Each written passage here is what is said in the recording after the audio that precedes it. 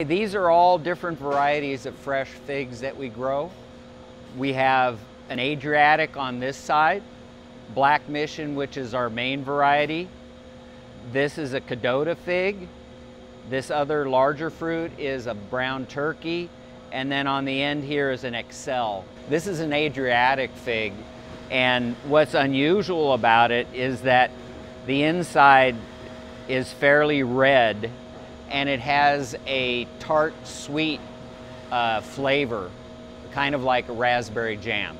This is a Kadota fig and it's golden inside and it has a honey-like flavor.